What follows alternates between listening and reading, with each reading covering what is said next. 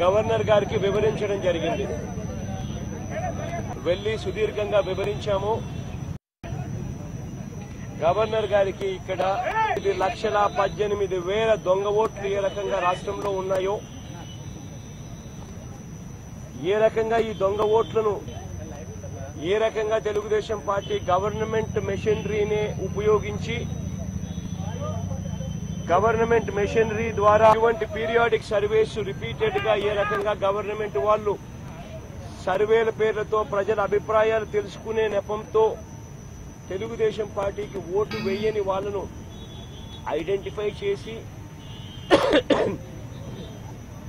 చెప్పాము. మళ్ళీ గవర్నర్ గారికి కూడా అదే విషయాలు చెప్పాం.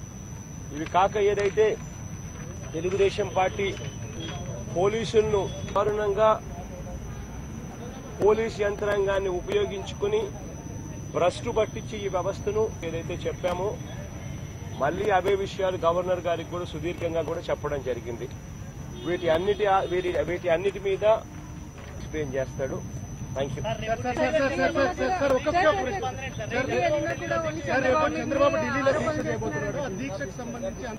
ఒక వ్యక్తిని తానే పొడి చేసి మళ్ళీ ఆ హత్యకు వ్యతిరేకంగా ఎవరైనా దీక్ష చేస్తే అసలు ప్రత్యేక హోదా అన్నది ఆంధ్ర రాష్ట్రానికి రాకపోవడానికి ప్రధానమైన కారణం ఏదైనా ఎక్కడైనా ఏదైనా ఉంది అని అంటే ఏ రకంగా ప్రత్యేక హోదాను నీరు గారుస్తూ ఆయన మాట్లాడిన మాటలు ఎవ్వరం కూడా ఇంకా మర్చిపోలేదు. ఏ రకంగా ప్రత్యేక హోదా అన్నది ప్రశ్నలు ఆయనంతటా ఆయనే ప్రత్యేక హోదా ఏదైనా సంజీవినా అంటూ రివర్స్ ప్రతిపక్షాన్ని తిరుగుతూ మాట్లాడిన మాటలు. కేజీ అనౌన్స్మెంట్ జరిగేటప్పుడు చంద్రబాబు నాయుడు గారికి సంబంధించిన మంత్రులు ఎంపీలు సాక్షాత్తు అరుణ్ జైట్లీ గారి పక్కన అర్ధరాత్రి కనిపిస్తూ మాట్లాడిన మాటలు.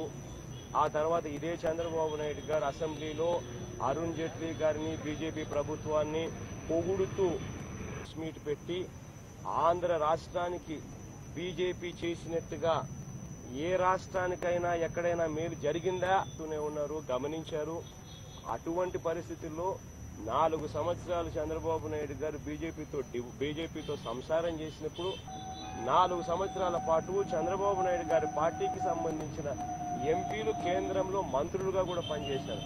అప్పుడు అంతా కూడా అడగని వ్యక్తి ప్రత్యేక హోదా కోసం ధర్మ పోరాట దీక్షలు చేస్తా ఉంటే నిజంగా దయ్యాలు వేదాలు వర్ణించినట్టుగా ఉన్నాయని చెప్పడానికి ఇంతకన్నా వేరే ఉదాహరణ కూడా అవసరం లేదు.